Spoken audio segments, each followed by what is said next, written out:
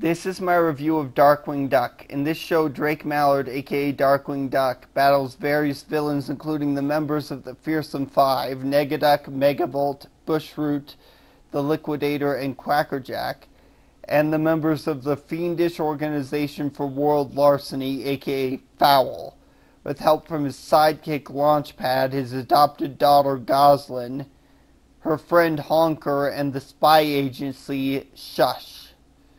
I give it a 9 out of 10.